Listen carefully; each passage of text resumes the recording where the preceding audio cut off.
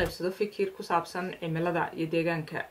Waxawey adduunku maanta wuxuu ka qaylinayaa meel kastoo la joogaba in ay cimiladii xumaatay oo deegaankii u xumaaday. Saa darteed waxay reer galbeedku ay aada iyo aada ugu tartamayaan sidii ay dhibaatooyinka uga yareyn lahaayeen deegaankooda iyo cimiladooda si dhibka uga yaraada iyagana.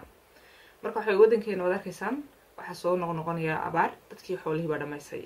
Si aynu taa uga baxno waxaan ohan laaba dadku inay ku dadaalaan oo ay ku baraarugaan arrimaha deegaanka ama cimiladaas u taqaanaan. Waxa weye in la ilaaliyo aan dhirta la jarin in la ilaaliyo inaan biyahan badan soconaya ee roobka markay ka yimaadaan iska soconaya in la qabto biyo xidheeno la sameeyo.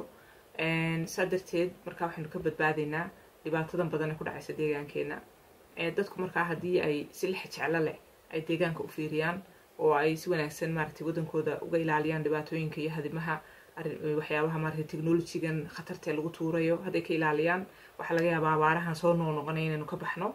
Marka taasaynu maaragtay uga baxno. Tobanka sannadood soo socdana waxaa layidhi africa waxaa ku dhici doona maxay hatoy abaaro khatara oo dadka dhameeya. Marka waynaynu arrinkaa aada iyo aada uga fikirno waynu ka gaashaamano wey